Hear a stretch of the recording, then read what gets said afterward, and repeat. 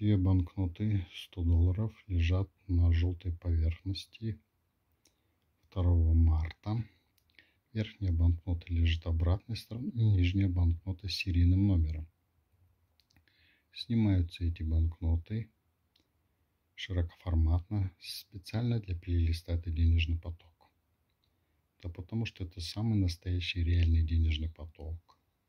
Ведь эти деньги получены мною с моего канала на YouTube. YouTube платит успешным авторам деньги. Причем он платит в долларах.